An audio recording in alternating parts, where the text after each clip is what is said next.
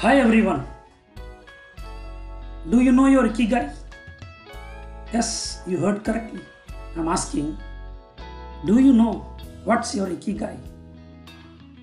Guys, if you have heard this term for the first time, that what is Ikigai, then stay tuned till the end of this video.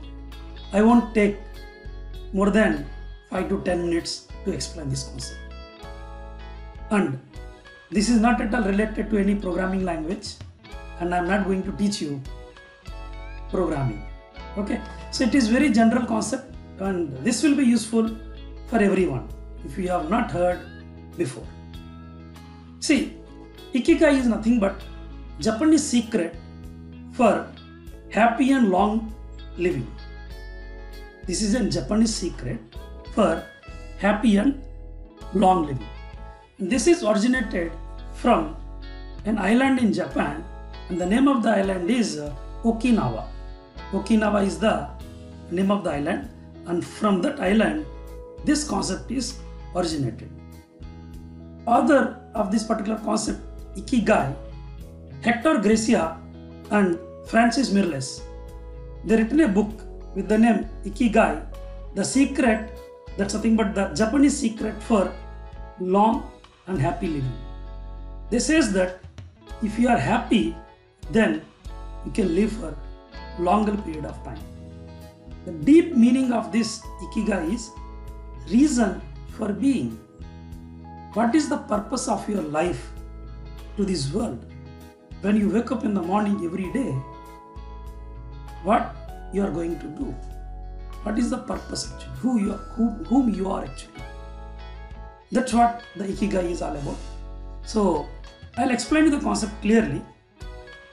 I'll tell you how I found my Ikigai. In the same way, you just try to find your Ikigai. So this is about four different circles intersection with each other. It's something like a Venn diagram. Okay. So like this, you draw these circles on a piece of paper and do what I say. Write everything what you love. In that circle, write everything what you love. See, we love many things. Suppose, if I want to give you example, I love coding. I love digital marketing.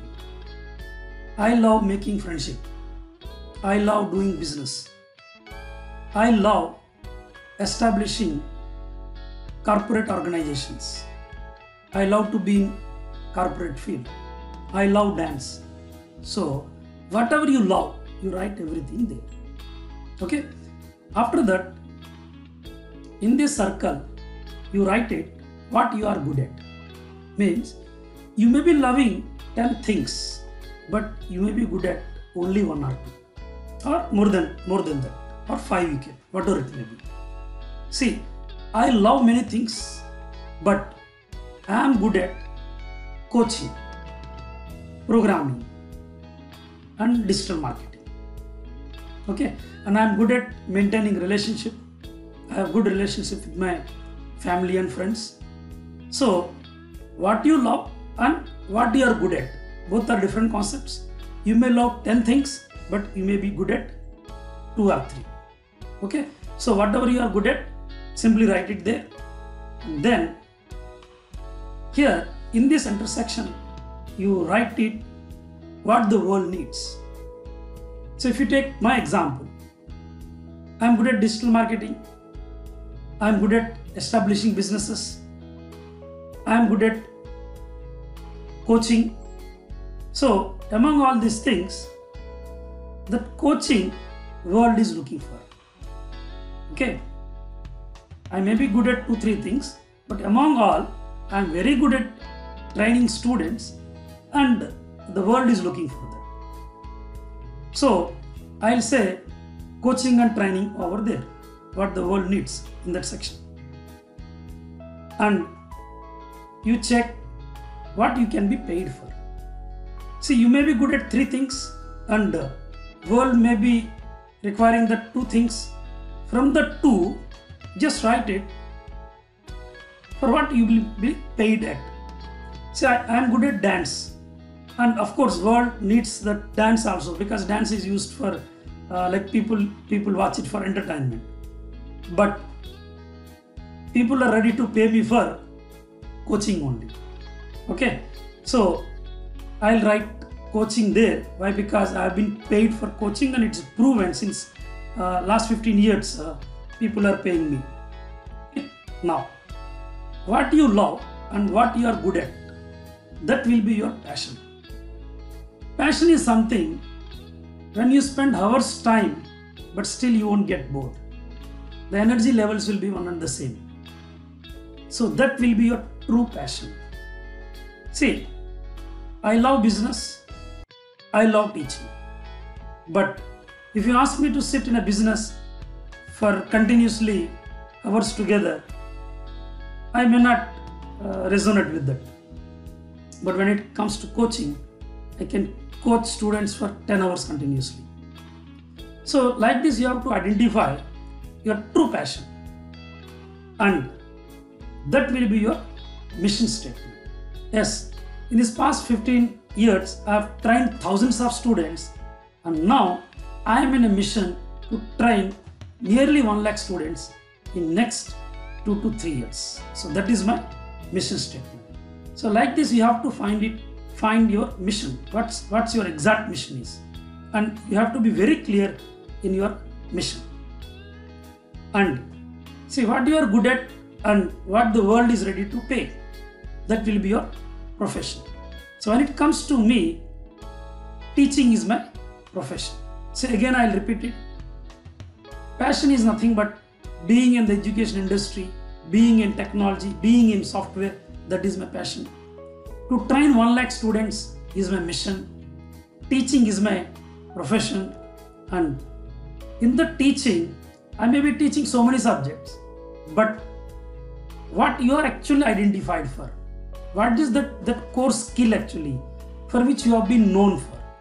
So when it comes to me, C, C++, data structures and Java, these are the four areas where people know me very well. That is nothing but your vocation. Profession is nothing but what you have been doing. That's nothing but teaching is my profession. In that, what is your exact skill? That will be your vocation. And after writing all these things, that middle spot, that will be your ikigai.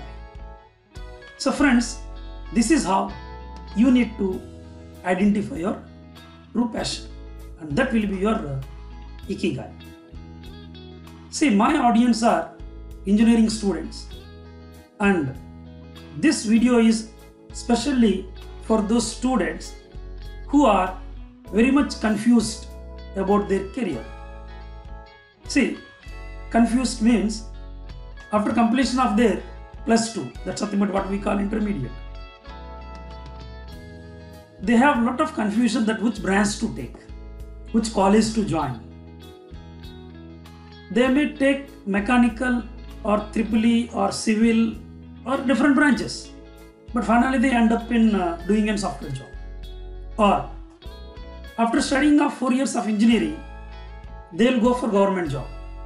They'll apply for banks. Means they'll be trying different different things. Instead of that, you try to identify your ikigai. After identifying the ikigai, implementing the ikigai is very very difficult. Why? Because you have to do a lot of sacrifices. You have to face lot of struggles. Otherwise, you can't live with your ikigai. Hope this will be an valuable message from my side to you. If you like this video, please comment below. And thank you so much for watching this. Bye bye. See you in next video.